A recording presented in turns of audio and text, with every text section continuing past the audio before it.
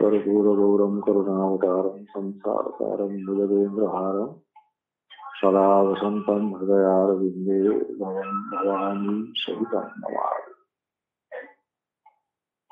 শ্রী ঠাকুর এবং পরম পূজ্যপাদ শ্রীমান মাধব স্বামীজি মহারাজের চরণ কমলে প্রণাম জানাই বছরের একবারে প্রথমে আমাকে পরম পূজ্য চরণ স্বামীজির বিষয়ে যে বাংময়ী পূজার সুযোগ আপনারা দিয়েছেন, সেজন্য আমি প্রথমে কৃতজ্ঞতা জানাই। আমার আজকে অন্যান্যবার আমরা শ্রী ঠাকুরের লীলায় যেমন মাধব স্বামীজি যে উপস্থিতি এবং তার যে মানে যেভাবে প্রকাশ, সেইটিকে আমরা ইয়ে করি, উপচার হিসেবে গ্রহণ করি। তা আজকে একটু অন্যরকম ভাবে ভাবছিলাম। প্রথমে ভাবছিলাম যে স্বামীজির কোনো একটি প্রবন্ধ, বিশেষ করে যে প্রবন্ধটি আমাকে খুবই আকর্ষণ করে, তিনি রামানুজের সঙ্গে আমাদের বাবার দর্শনের একটি খুব চমৎকার ইয়ে করেছেন মানে আলোচনা করেছেন। বিশিষ্টাদ্বৈতবাদে পরতত্ত্ব ওঙ্কার দর্শন বলে। তাতে মানে এই যে বাবার পরতত্ত্ব যে যেদিকে অভিনব প্রণববাদে বলি তা ওঙ্কার দর্শন বলতে কোনো বাধা নাই। তা ওঙ্কার দর্শন বললে একটু যে জায়গায় মানে ইয়ে হতে পারে আহ, প্রশ্নের সুযোগ থাকতে পারে সেটা হচ্ছে যেহেতু আচার্য গৌরপাদ তিনি তার কারিকাতে ওঙ্কার বিষয়ে বাবার অনেক আগেই বহু কথা বলে গেছেন ফলত সেই তার দর্শন, ওঙ্কার দর্শন বলে সমাজে পরিচিত হয়ে আছেই।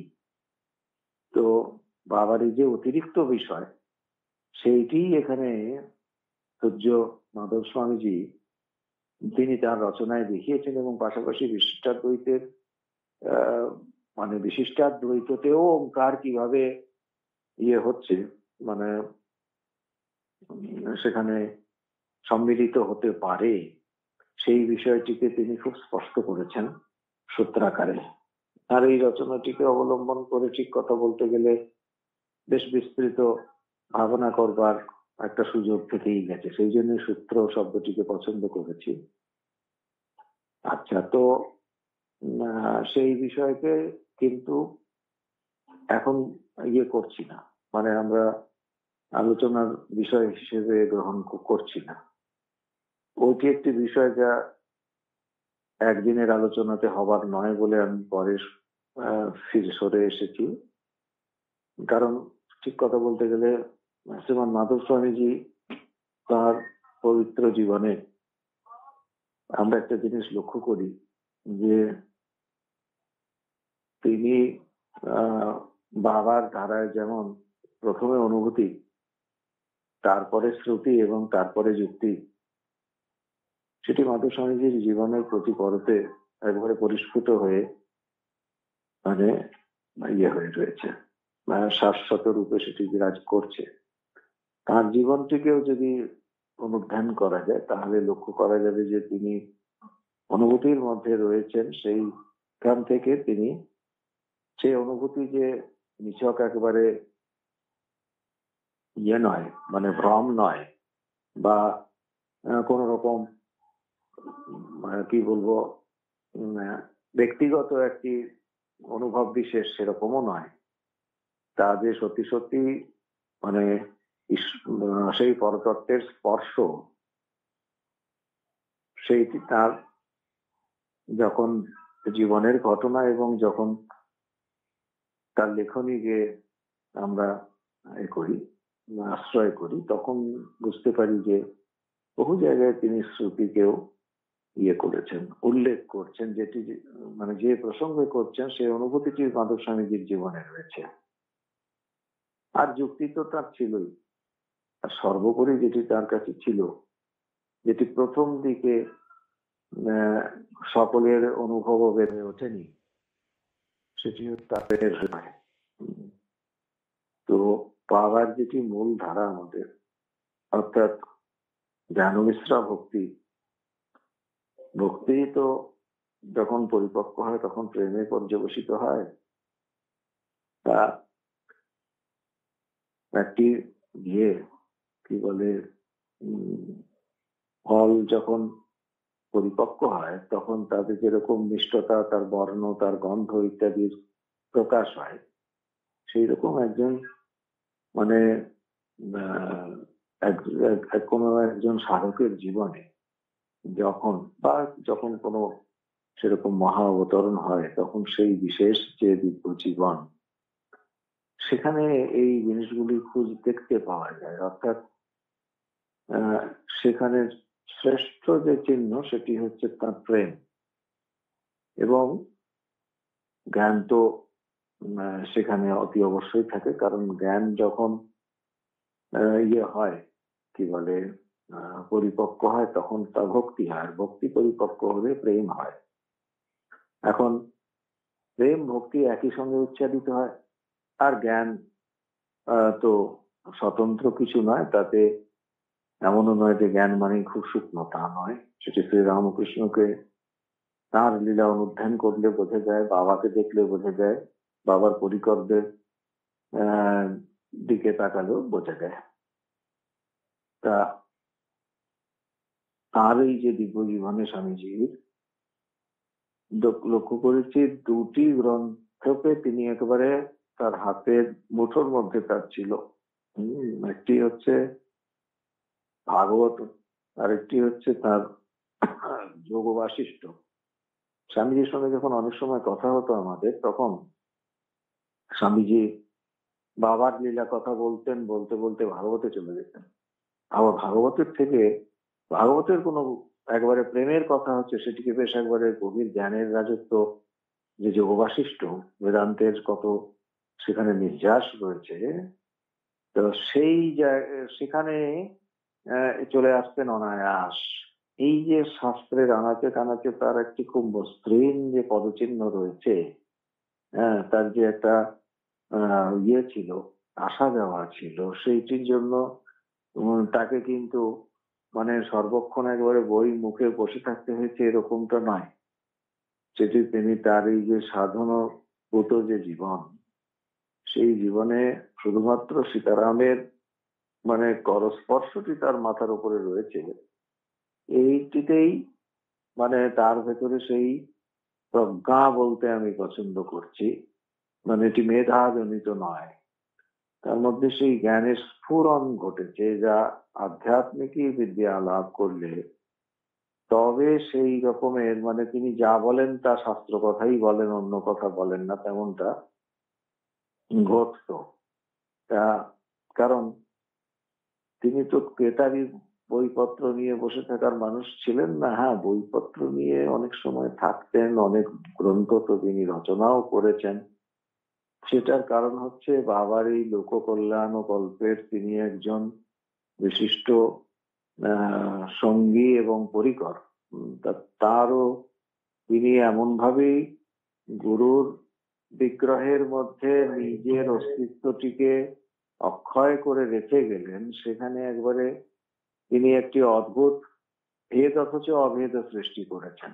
আপনারা খেয়াল করে দেখবেন যে যেমন মাধব স্বামীজি যে গ্রন্থ রচনা করেছেন, সেগুলি সব ঠাকুর বিষয়ক। স্বামীজি ইচ্ছা করলে ভাগবতের উপরে অতি অসাধারণ ইয়ে করতে পারতেন, ভাষ্য টিকা রচনা করতে পারতেন, যার ভাগবতের প্রায় প্রতিটি স্কন্ধ যার যথেষ্ট ইয়ে রয়েছে, দখল রয়েছে তিনি পারতেন না, এটা কখনোই বিষয় নয়। অনায়াস পারতেন, করেননি। স্বামীজি ইচ্ছে করলে যোগ বাশিষ্ঠের আহ, বিষয়ে অদ্বৈত তত্ত্ব বলতে পারতেন। তিনি বিশিষ্ট অদ্বৈত সম্প্রদায়ের মানে অনুগামী যে আমাদের যে সন্ন্যাস ধারা সে আশ্রমটি বাবার ইয়েতে আদেশে বাবার ইচ্ছায় তাকে তিনি তার বহিরঙ্গে ধারণ করেছেন। কিন্তু তার অন্তর অতি অবশ্যই একেবারে মানে সীতারামে পরিপূরিত হয়েই থেকেছে চিরকাল। তার বাইরে তিনি আর কিছু ভেবেছেন বলে অন্তত আমার ব্যক্তিগতভাবে সেরকম ভাবে জানা নাই। বাবা চেয়েছেন, মা যেমন সন্তানকে যেভাবে সাজিয়ে দেয় তাকে একটি মাথায় ফিতে বেঁধে দিল, চোখে দুপাশে কাজল এঁকে দিল, কপালে একটি কাজলের টিপ পরিয়ে দিল, দিয়ে একটি জামা কাপড় পরিয়ে তাকে এবার বলল, এবার তুমি খেলা করো। তো সে বাচ্চাটি যেমন তারপরে সেখানে তার নিজের কোনো ইচ্ছা রাখেন না, সেই রকম স্বামীজিকে কখনো বাবার কাছে, বাবা তাকে যেমন রেখেছেন, তিনি তেমন থেকেছেন। বাবা কখনো দেখেছি আমরা স্বামীজি একবারেই শ্বেত শুভ্র বসনে রয়েছেন। তাকে যখন থেকে দেখছি সেই সময় তার জটামণ্ডিত বিগ্রহ। পরে মাধব স্বামীজিকে দেখেছি তখন তিনি ভস্মাঙ্গ মানে ইয়েতে একেবারে রাগরঞ্জিত ভস্মাঙ্গ রাগরঞ্জিত তার শ্রীঅঙ্গ। আবার এরকমও দেখেছি যে তিনি একেবারে আহ, ত্রিদণ্ড ধারণ করে রয়েছেন। শিখা সূত্র তার রয়েছে। কিন্তু সেখানে তিনি একবারে কাষায় বস্ত্র পরিহিত। একবারে আমাদের রামানুজ সম্প্রদায়ের যে ইয়েগুলি তিলক লাঞ্ছিত তার দীর্ঘ ললাট। এই রকমের যে তার আহ, তপ পুত তার যে ইয়েটি শ্রী বিগ্রহটি সেটি আমাদের কাছে খুব স্পষ্ট। স্বামীজি বলার সঙ্গে সঙ্গেই চোখের সামনে ভেসে ওঠে। তো এই তিন রকমের ইয়েতে আমি তার এই একই অঙ্গে তিন রকমের রূপ অন্তত দেখার সৌভাগ্য লাভ করেছি এবং তার সঙ্গে আরেকটি জিনিস, সেটি হচ্ছে স্বামীজির অদ্ভুত, তার এই যে গুরু সেবার নিষ্ঠার যে সূত্র, তাতে কতগুলি জিনিস লক্ষ্য করেছি। এক হচ্ছে তিনি যখন বাবার হয়ে গুরু ভাইদের বা বিশেষ করে আরও অন্যান্য জনেদের তিনি যখন চিঠিপত্রের উত্তর দিচ্ছেন, তখন তিনি একরকম চিঠি পড়ছেন, ভেতর থেকে চিঠির উত্তর দিচ্ছেন। সেখানে একেবারে তিনি বাবা যেভাবে কথা বলবেন, ঠিক সেই ভাষায় কথা বলছেন এবং বলে পরে তিনি সেখানে নিজে স্বাক্ষর করে বলছেন, বাবার আদেশেই চিঠি লেখা হলো কিন্তু সেখানে বাবাতে তাকে ইয়ে করলেন ডিকটেশন দিলেন এরকমটা মানে সেই মুহূর্তের নয়। কারণ স্বামীজিকে সব রকমই দেখেছি। এক হচ্ছে যে স্বামীজি চিঠি যখন লিখছেন, তখন বাবার কলমে যেমন শ্রীমদ ভুয়ানন্দ দেবকে আমরা দেখতাম, বাবার চিঠিপত্র তার কাছে চলে আসতে, উত্তর দেওয়ার জন্য তিনি চিঠি লিখতেন, উত্তর দিতেন মাধব স্বামীজিও উত্তর দিতেন। তা এদের মধ্যে তখন তো সেই বাবা হয়েই তো তারা উত্তরটা দিতেন মানে বাবার হয়ে উত্তর দিতেন, আমাদের তো মনে হয় লেখনীটির বাবাই বিরাজ করতেন। হ্যাঁ আমার এই যে এটি ভাবাবেগ বলে মনে করি না। অনেকে বলতে পারেন যে অতিরঞ্জন করা হচ্ছে সেটি তার ব্যক্তিগত মতামত। আমরা যারা চাক্ষুষ প্রত্যক্ষ করেছি, আমাদের মনে হয়েছে, কই কেন তিনি তো বিন্দুমাত্র চিন্তা করছেন না, একবারে বাবার হয়ে পরিষ্কার লিখছেন। এক। দ্বিতীয় বিষয় হচ্ছে, যখন তিনি পাকশালায় যাচ্ছেন, তখন এই যে বললাম মা যেমন সন্তানকে যেভাবে সাজিয়ে দেয়, সন্তান সেভাবেই সেজে খেলাধুলো করে, ঠিক সেরকম স্বামীজি বাবার একবারে তার মানস সন্তান, তার তিনি বাবার উপাদানেই গঠিত। যার জন্য তিনি সন্ন্যাসের ইয়ে ধারাতে অগ্নি স্পর্শ করতেন কিন্তু তিনি বাবার জন্য স্বামীজি ইয়ে করতেন। কি বলে তিনি পাকশালায় যেতেন, বাবাকে তিনি প্রসাদ মানে তিনি ভোগ রান্না করে নিবেদন করতেন। আচ্ছা আরেকটি জিনিস হচ্ছে, এই, এটি, একটি হলো তার একাগ্র হয়ে গুরুদেবের মধ্যে ইয়ে হয়ে থাকা। লেখনী মুখে ভয় প্রকাশিত হচ্ছেন। দ্বিতীয়, যখন রন্ধনশালায় গেছেন, তখন কিন্তু তিনি ইয়ে করছেন কি বলে একেবারে ঠাকুরের জন্যই করছেন এবং ঠাকুরকেই নিবেদন করছেন।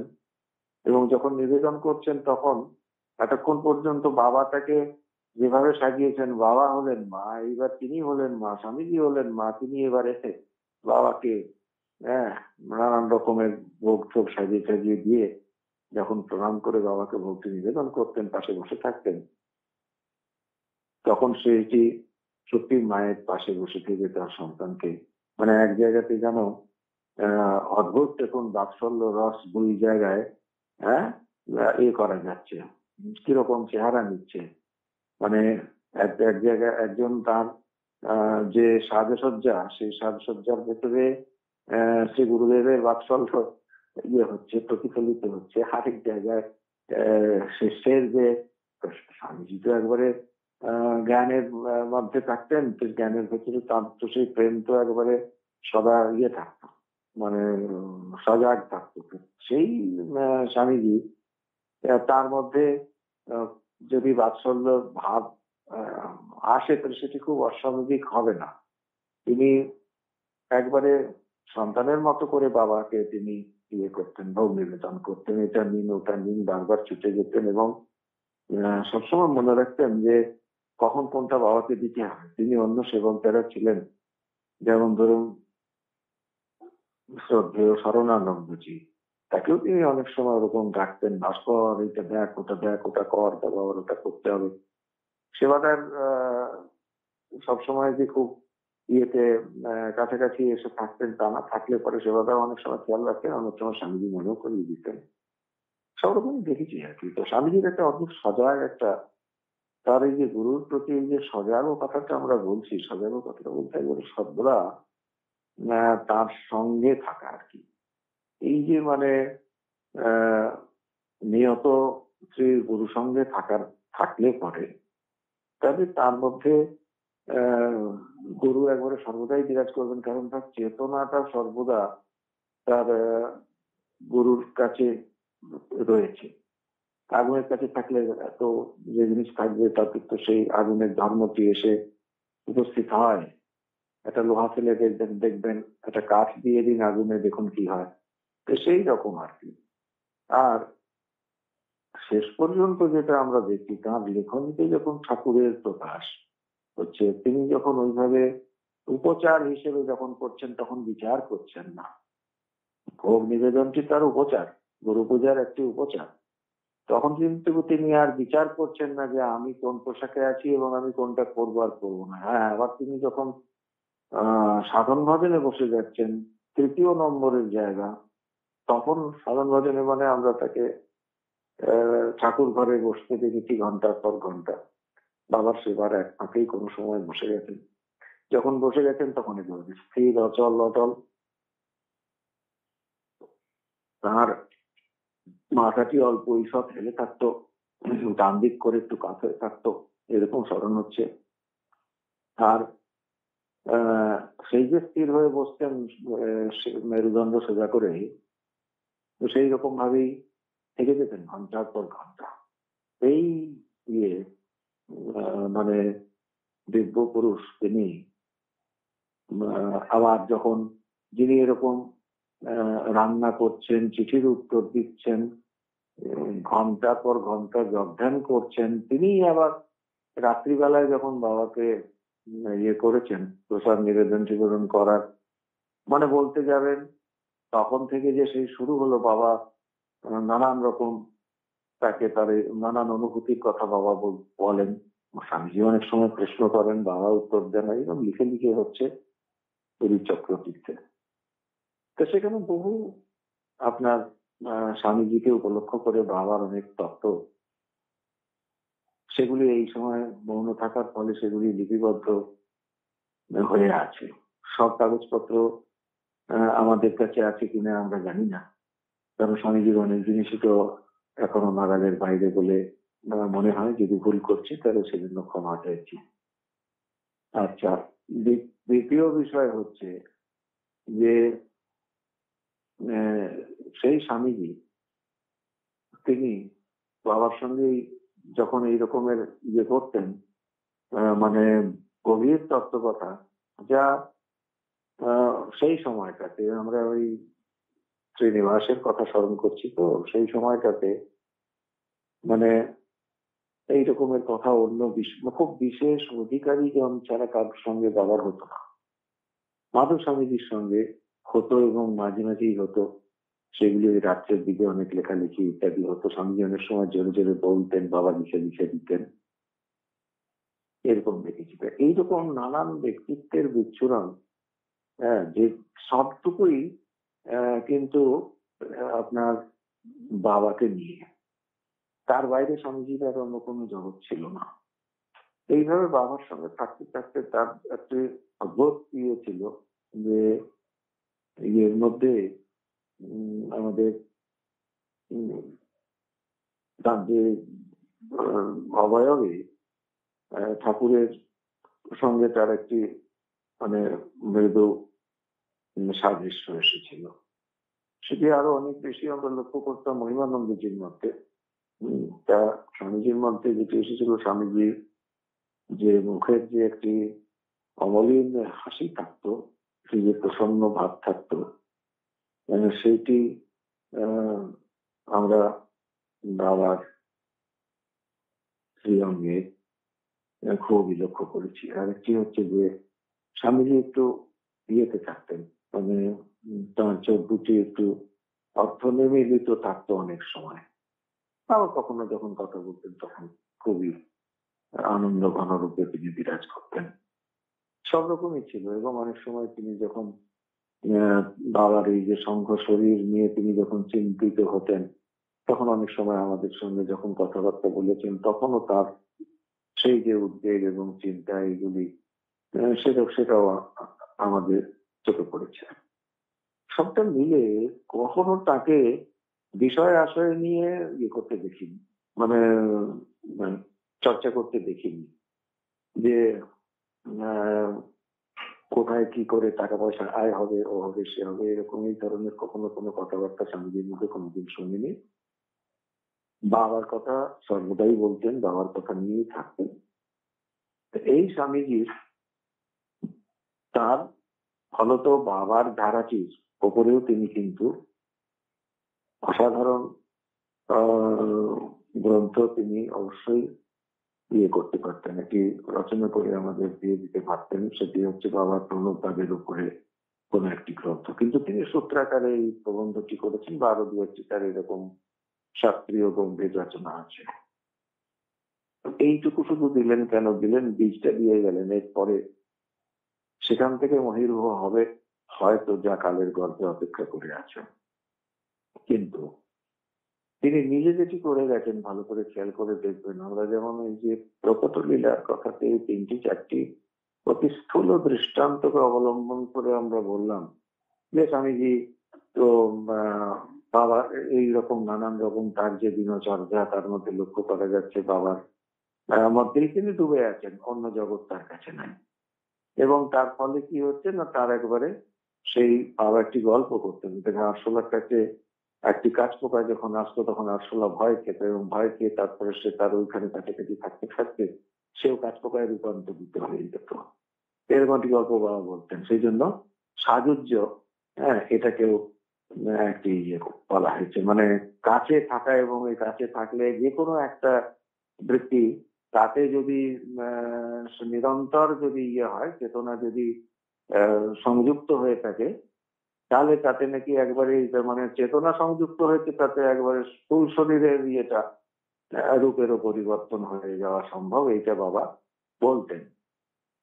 বলতেন আর আমরা স্থূলে এরকমের দৃষ্টান্ত এই যে দুইজনের কথা উল্লেখ করলাম, একজন হচ্ছেন পরমপূজ্য ইয়ে আমাদের কিঙ্কর মহিমানন্দ দেব, আর একজন হচ্ছেন এই পরমপূজ্য ত্রিদণ্ডী স্বামী মাধব রামানুজ জিওর মহারাজ। এদের মধ্যে দেখেছি ছিল?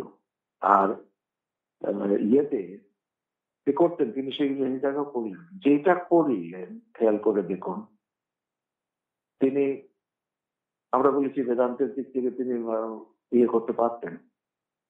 অনায়াস তিনি যোগ বাশিষ্ঠকে অবলম্বন করে অসাধারণ বেদান্ত দর্শনের কথা বলতে পারতেন। তিনি রামানুজ দর্শনের কথা বলতে পারতেন, কারণ ঠাকুর তাকে রামানুজ সাজে সাজিয়েছে একটা পর্বে কিন্তু ওই একটা পর্বই তো আর তিনি নন।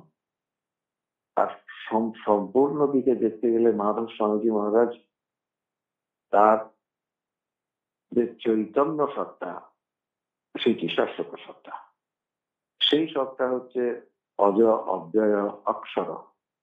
তিনি সর্বদা আছেন। তো সেইখানে কোথায় তিনি একটি বাবার লীলাসঙ্গী যুগে যুগে বারে বারে তিনি আসেন তার সঙ্গী হিসেবে এবং বাবা তাকে যে ভূমিকায় তাকে অবতরণ করেন, তিনি সেই ভূমিকাটুকু পালন করেন। সেখানে নিজের ইচ্ছা, নিজের কোন প্রকার আমিত্বটুকু, সবটুকু তিনি গুরুচরণে সমর্পণ করে রেখেছেন। যা অতি সুযোগ একটি যোগ্যতা। তো এই যে ইয়ে স্বামীজি, তিনি সেই রামানুজের ইয়েতেও ধারাতেও কিছু বললেন না। খুব বললাম, এই যে বিজাকার যত সামান্য যেটি করলেন, সেটি হচ্ছে খুব ভাববার মতো জায়গা, যেখানে স্বামীজি কে আমরা খুঁজে পাই। সেটি হচ্ছে যে যাকে আমরা একটু আগে বলেছি, ভেদাভেদের, অদ্ভুত একটি ভেদাভেদ সেখানে আমরা লক্ষ্য করি। ভেদও রয়েছে, অভেদও রয়েছে। তা হচ্ছে এই তিনি বাবার ওঙ্কার সহস্রলিপি বাবা প্রকট হবার পরে প্রথম খেয়াল করে দেখুন বাবার বাবার চিঠিপত্রগুলিকে যে একত্রিত করা দরকার, সেই সেবাটি তিনি নিলেন। এক অশেষ শ্রদ্ধা ভাজন আমাদের হরিসাধন তাকে দেখেছি। তিনি যতদিন শরীরে ছিলেন, ততদিন পর্যন্ত তিনি বাবার রচনাবলী প্রকাশ করার জন্য তার জীবন সমর্পণ করে রেখেছিলেন।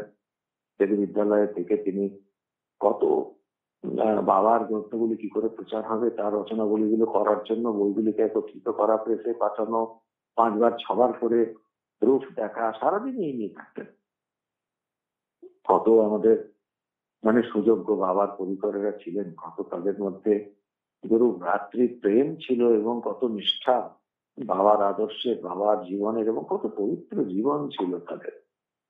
তা ইয়েতে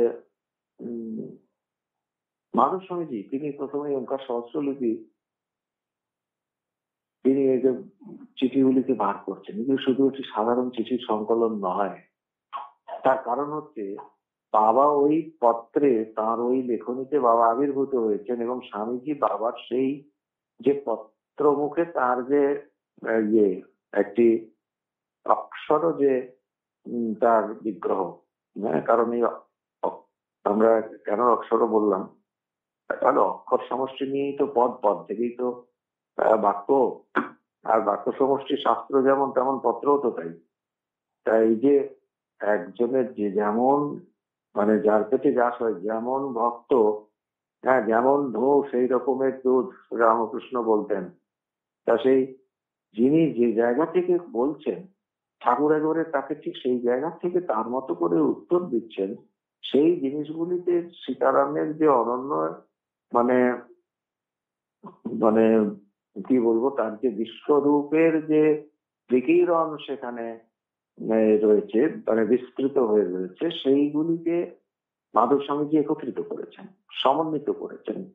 একদিন বলেছিলেন আমাকে, দেখ, এখন যদি আমি বলো স্বামীজি আপনি এটা করছেন, এই বিষয়গুলিকে সব একত্রিত করছেন, তাহলে এখনও আরও দেখবি অনেকগুলো হবে। তখন স্বামীজি ওখানে এখন যে ঘরটি, এখন যে বাড়িটিতে সাধুরা থাকেন গোবিন্দ মন্দিরের মানে আমাদের শ্যামসুন্দর শ্যামরায় মন্দিরের দিকে আমরা যে দাঁড়াই, তাহলে মা দিকে, তখন দোতলা নূতন সেই সাধুদের কুটির গুলি তৈরি হয়েছিল।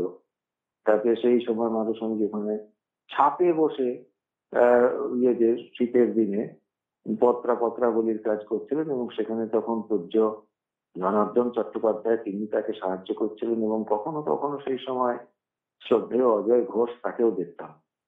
এরকম সময় আমার সঙ্গে তখন কথা হতো স্বামীজির এবং স্বামীজি বলতেন, দেখবি আরও কয়টা খন্ড হবে। এই দেখ, এখন বলছি তো আমি বলেননি। বলছেন, এটাকে কেউ ফেলবে না, বুঝলি? এখন বলছি, তাই দিচ্ছে। দেখবি ঠিক সকলের জিনিসগুলো এসে যাবে, কোথায়, কত জায়গায়, কোথায় আছে, এই খবরটাও কারও নাই। আমি আগে এই জিনিসগুলোকে এক জায়গায় করি, দেখ না, তারপরে বাবার এই জিনিসগুলো থেকে কত হীরা মানিক পাবি। আবার কখনো কখনো চিঠি পড়ে শোনাতেন আর সেই সময় ভেউ ভেউ করে কাঁদতেন এই যে এই যে অদ্ভুত গুরু প্রেম, আর এই যে জিনিসগুলিকে একত্রিত করা, চিঠিটাকে যখন তিনি, এগুলি যে চিঠি নয়, এগুলি যে বাবা স্বয়ং, সেই মর্যাদাটা দেওয়ার শিক্ষাটা তো মানুষ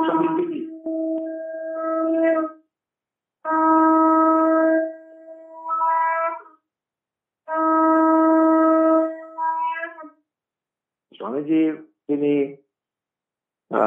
এইভাবে বাবার সেই ইয়েগুলিকে, আপনার কি বলে, পত্রগুলিকে একত্রিত করে তিনি তখন প্রকাশ করলেন। তারপরে দেখুন বাণীগুলিকে প্রকাশ করলেন।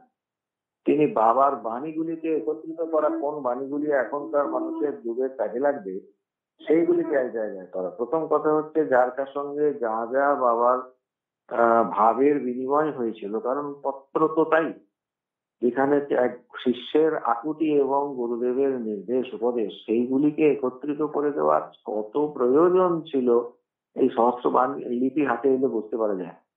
সহস্র লিপি দ্বারা একবারে সাক্ষাৎ বাবাকে তিনি আমাদের কাছে দিয়েছেন। তা নইলে এইগুলি হারিয়ে যেত আর আমরা পেতাম না। সেই জন্য স্বামীজি মানে শাস্ত্রের মানে টিকা ভাষ্যর থেকেও অনেক বড় কথা হচ্ছে, তিনি একবারে আমাদের সেই আকরটি দিয়েছেন। যেখান থেকে এবার আমাদের ঠাকুরকে খুঁজে নিয়ে পরবর্তীকালের এই ভাষ্য, টিকা, বার্তিক, এমনকি সীতারাম অনুধ্যান করবার জন্য যে উপাদান, সবগুলির ক্ষেত্রে আমরা যাতে কিছু সম্পদ পাই, তিনি সেই সম্পদগুলি জুগিয়ে দিয়ে গেছেন যুগের জন্য, মানুষের জন্য। এবং তারপরে স্বামীজি বাণীকে আত্মীয় করলেন বাণীগুলি একত্রিত করলেন। বাণী তো বাবার সব গ্রন্থই তো ছিল না। কোনগুলি এখন এই যুগোপযোগী, কোনগুলি মানুষের এখন বিশেষ করে দরকার, সেগুলিকে তিনি অনেকগুলি পর্বে সাজিয়ে সেগুলিকে বিশেষ বিশেষ বাণীকে তিনি আরও চিহ্নিত করে একত্রিত করলেন, করে একবারে সহস্র বাণী করলেন। এই যে সহস্র লিপি এবং সহস্র বাণী, এই তিনি যে দুটি সহস্র মানে গুরু বন্দনা করেছেন, সেটার উপাদান কি? দুটি হচ্ছে বাবার, দেখবেন বাংময় বিগ্রহ। সেখানে কোথায় কি করলেন তিনি? তিনি কোথাও কোথাও আন্ডারলাইন করেছেন, কোথাও কোথাও বোল্ড টাইপ দিয়েছেন, জায়গাটিতে একটু ধ্যান দিতে হবে, এইটুকু ইশারা করেছেন মাত্র। কিন্তু সেই জায়গায় কোথাও কিন্তু তিনি তার নিজে অনুপ্রবেশ করেননি। হ্যাঁ আপনি বলতে পারেন যে এখানে সেখানে তিনি তো একটা বিশেষ অর্ডারে সাজিয়েছেন। হ্যাঁ পরম্পরা ক্রমটা তো তার। ঠিক, যেখানে আন্ডারলাইন করেছেন, যেখানে বোল্ড করেছেন, সেটা তার। এটা তখন তিনি আচার্য। তখন তিনি আচার্য, কিন্তু যা করে গেছেন, যা রেখে গেছেন, সবটুকু বীজাকারে সবটুকু বীজাকারে এবং এখন যেটা হচ্ছে, সেটা হচ্ছে ক্ষেত্র প্রস্তুতি।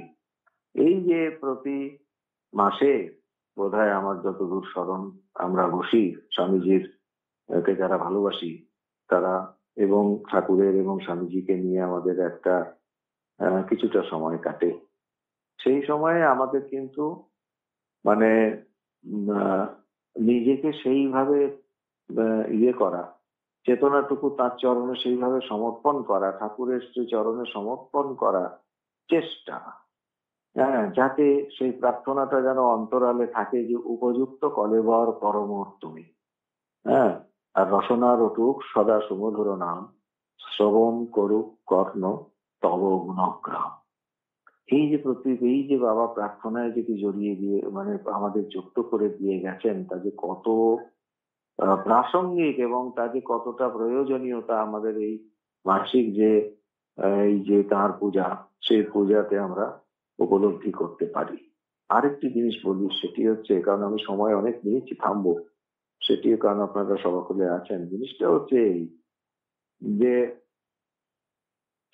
খেয়াল করে দেখবেন, যা তিনি বলে গেছেন, এখন এই যে কর্ষণের কথা বলেছি, কিন্তু এখনও বীজ বপন বা তার থেকে যে আবার মানে তিনি যে খুব বড়ভাবে আবার প্রকাশিত হবেন, আবার যে সীতারামের আকাশে হ্যাঁ তিনি যে, কি বলব, বা সকল, সকলের চিত্তাকাশে তিনি যে আবার পুনরায় মানে সমস্ত আমাদের এই যে কৃষ্ণ কর্মের মেঘ সরিয়ে দিয়ে তিনি যে বিরাজ করছেন, তার সেই যে বরণীয় ভর্গ হ্যাঁ তার সেই যে জ্যোতিপুঞ্জ, তার দ্বারা আবার আমাদের হৃদয়গুলি আলোকিত হয়ে উঠবে, তার জন্যই তো আমাদের এই উপাসনা।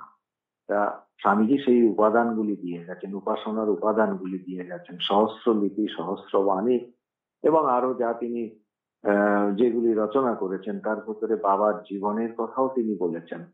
পুরুষোত্তম শ্রী ওঙ্কারনাথ, যতটা মনে হচ্ছে ভুল হলে ক্ষমা করবেন। তা এই যে লেখনী মুখে ফলত তিনি আছেন, তার সেই গ্রন্থগুলিতে যা বলতে চেয়েছিলাম, কোথাও দেখুন, যদি খেয়াল করে দেখেন, তাহলে উপাদানগুলি কি হচ্ছে? বাবা। কিন্তু ওই আন্ডারলাইন টুকু বা বোল্ড করে দেওয়াটুকু অথবা বাণীগুলিকে পরম্পরাক্রমে সাজানো টুকুর মধ্যে তিনি রইলেন, ওখানে ওখানে তিনি হলেন, ওখানে যেন ভেদ রইল, যে ওইখানে তিনি একটু কাজ করছেন, সেখানে আচার্য।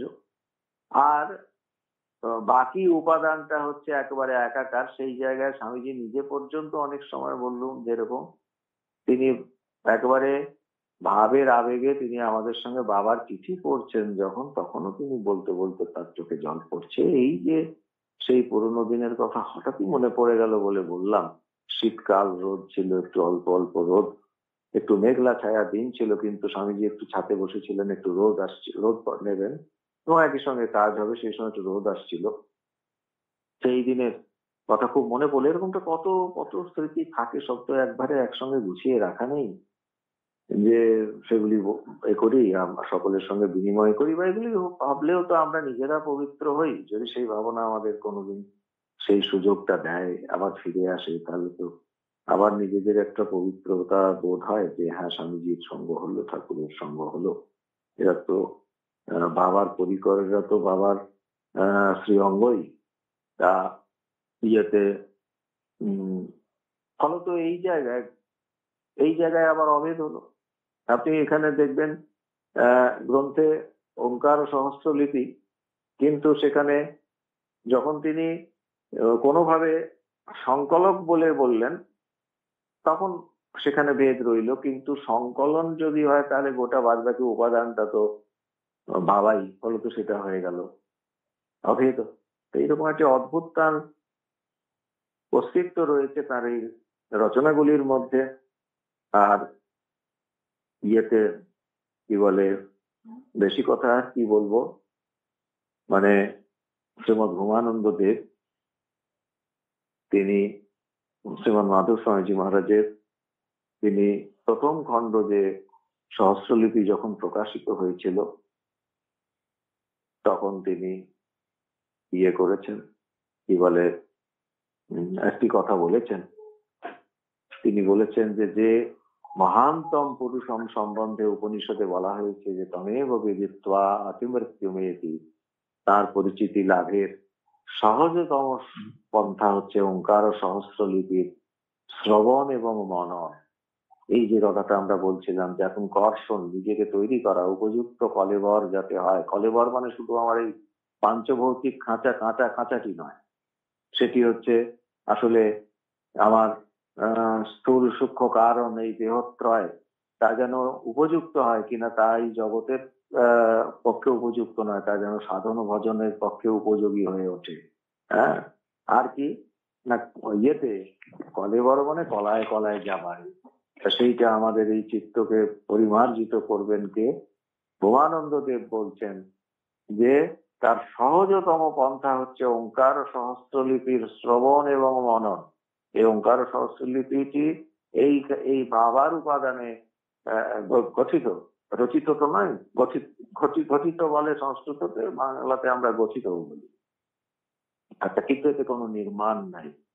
বাবা এখানে প্রকাশিত হয়েছে নিচে আমাদের মনে রাখতে হবে। ভুমানন্দদেব লেখেননি, কিন্তু আমি আমরা এটা অনুভব করছি, বা যা শুনি বা যা গুরুজন মুখে জানি তাই বলছি।